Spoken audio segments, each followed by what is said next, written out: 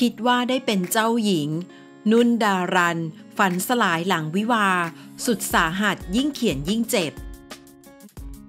ช่วงความตายความเป็นจะรอดหรืออยู่ ฝันสลายคิดว่าจะได้เป็นเจ้าหญิง แต่กลับได้รับบทนางแบกหนี้จนต้องยา พร้อมเผยช่วงเวลาสาหัสสุดในชีวิต และการตัดสินใจครั้งใหญ่ของตัวเอง ตายก็โทษใครไม่ได้ นุ่นดารันเปิดชีวิตความรักในรายการคลับไฟเดโชย้อนเรื่องราวช่วงชีวิตผ่านความสาหัส ก่อนจะมาเป็นคุณแม่เลี้ยงเดี่ยวกับชีวิตคู่ที่ผ่านไป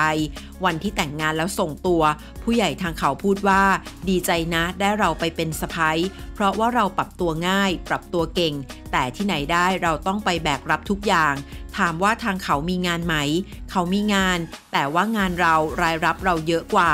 วันหนึ่งก็มีหนี้สินของเขาผุดขึ้นมา เป็นหนี้สินเดิม ก็รักแล้วช่วย ก็ช่วย แต่เมื่อเข้าไปอยู่ในครอบครัวของเขา แล้วเราต้องเจอกับปัญหาภายในครอบครัวเขาอีก หนักเลย จนเราทนไม่ไหว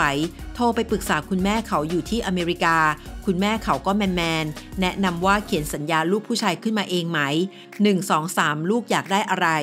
เราก็บอกว่าแม่คุณแนะนำมาแบบนี้ คุณลองอ่านดู เขาก็ขยำกระดาษทิ้ง แล้วพูดกับเราว่า อยากได้อะไรก็ไปฟ้องเอา และสิ่งที่เจ็บปวดที่สุดที่ไม่อยากทำเลย ทนายพูดว่าให้ไปเขียนมาว่าข้อบกพร่องของเขาที่ผ่านมามีอะไรบ้าง ใครบ้างที่อยากจำ เขียนแล้วก็เจ็บ ตรงนั้นเรารู้สึกว่าเป็นช่วงที่สาหัสจริง ๆ ชีวิตเราต้องมาเจออะไรแบบนี้ และอีกช่วงที่แย่ที่สุดในชีวิตก็รู้ว่าเป็นมะเร็ง